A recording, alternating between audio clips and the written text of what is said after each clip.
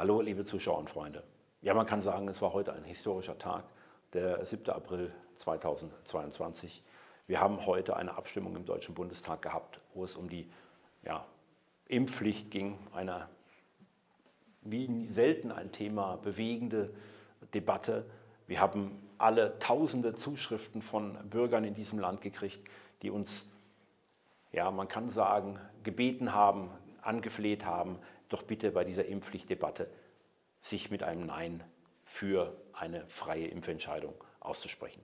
Und offensichtlich war dieser Protest der Bürger in diesem Land und unsere Position dazu als AfD-Fraktion war ja schon immer genau die, die uns die meisten Zuschriften auch mitgeteilt haben. Wir wollten keine Impfpflicht. Wir wollen auch immer noch keine Impfpflicht. Und diese Position hat sich heute auf ganzer Linie durchgesetzt. Es gibt weder eine Impfpflicht ab 18 noch eine Impfpflicht ab 50 und auch den Kombinationsantrag aus diesen beiden Gruppen, die Impfpflicht ab 60. Ah, jetzt muss man ein bisschen nachdenken, was das bedeutet, aber vergessen wir mal, manche Kompromisse versteht man nicht. Fakt ist auf jeden Fall, es gibt keine Impfpflicht. Es gibt auch nicht die Impfpflicht durch die Hintertür, wie sie die Union wollte, und es gibt auch nicht die verpflichtende Impfberatung, wie sie die Gruppe um Herrn Kubicki wollte. Nein, es gibt gar nichts dazu. Gut, die einrichtungsbezogene Impfpflicht ist noch nicht weg. Da müssen wir noch dran arbeiten. Das wird unser nächstes Projekt. Dieser Antrag ist heute leider von uns auch nicht durchgegangen. Aber was bedeutet die aktuelle Situation? Wir können uns alle darüber freuen, diesen Erfolg errungen zu haben. Ein Erfolg von Demokratie, Bürgerbeteiligung, Protest auf der Straße und ein Erfolg der Freiheit. Aber leider muss man konstatieren, dass die tatsächliche Mehrheit im Deutschen Bundestag das ist nämlich die Summe der Impfpflichtbefürworter der Union und der Impfpflichtbefürworter aus diesen zwei Einzelanträgen, den Gruppen. Die ist immer noch da. Die Mehrheit ist weit über 400 Abgeordnete. Warum kam es heute nicht dazu, dass sie beschlossen wurde? Warum haben die sich nicht zusammengerauft? Das will ich Ihnen kurz erklären. Die Union, die einen eigenen Antrag mit einer Fraktionsempfehlung ausgegeben hat, wollte die Regierung bloßstellen. Denn die Regierung hat alles dafür getan, dass die Impfpflicht heute beschlossen wird. Der Bundeskanzler hat die Außenministerin aus der NATO-Konferenz abberufen lassen, damit sie ihre Stimme heute in die Urne einwerfen kann. Es hat nichts geholfen. Die Regierung hat bei einem Projekt, das dem Bundeskanzler und dem Gesundheitsminister enorm wichtig war, keine Mehrheit im Parlament gehabt.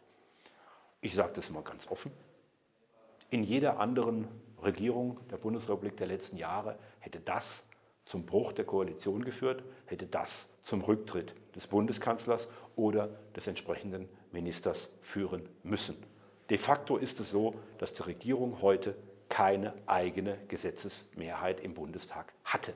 Weil natürlich wollte die Regierung das. Sie haben das nur als Gruppenanträge getarnt, um diese Blamage mit Ansage eben nicht zu realisieren. Die Union, das muss man schon sagen, hat offensichtlich nicht den Drang zur Impfpflicht gehabt. Sie wollte die Regierung einfach bloßstellen. Das ist der Union gelungen. Aber, und das ist das Risiko, was wir dabei haben, tatsächlich hat die Union sich eben nicht auf eine Position, eine freiheitliche Position gestellt, wie die AfD, und gesagt, wir wollen gar keine Impfpflicht. Nein, die Union hat nur dem Antrag der Regierung den ich ja gerade ausgeführt habe, warum dieser Gruppenantrag eigentlich der Antrag der Regierung war, nicht zugestimmt. Es war eine Machtdemonstration der Opposition, gemeinsam von Union, gemeinsam von innerer Opposition in der Koalition, das waren im Wesentlichen die FDP-Abgeordneten und natürlich der AfD-Fraktion. Wir haben heute gezeigt, dass diese Regierung nur in Teilen handlungsfähig ist. Und ich sage das hier mal ganz offen, in der Situation erwarte ich eigentlich Konsequenzen. Ich erwarte, dass hier natürlich mindestens der Gesundheitsminister an dieser Stelle, an dieser Stelle seinen Rücktritt erklärt. Es kann nicht sein, dass ein Minister sich für ein Thema einsetzt und dann im Plenum keine Mehrheit kriegt und dann so weitermacht wie bisher.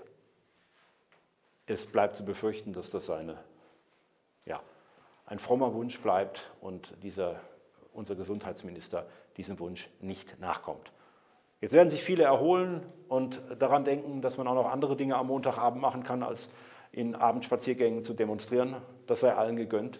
Wir müssen aber trotzdem wachsam bleiben.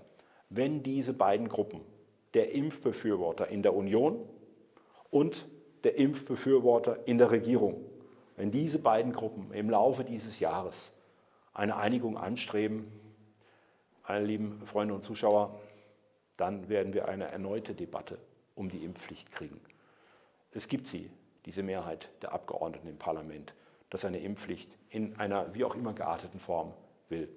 Und deshalb bleiben wir wachsam. Wir haben einen Zwischenerfolg errungen, aber die Impfpflicht ist nur drei Viertels vom Tisch.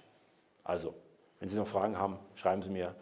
Wenn es Ihnen gefallen hat, hinterlassen Sie mir ein Like und hoffen wir alle, dass der Gesundheitsminister jetzt die Segel streicht und zurücktritt. Danke.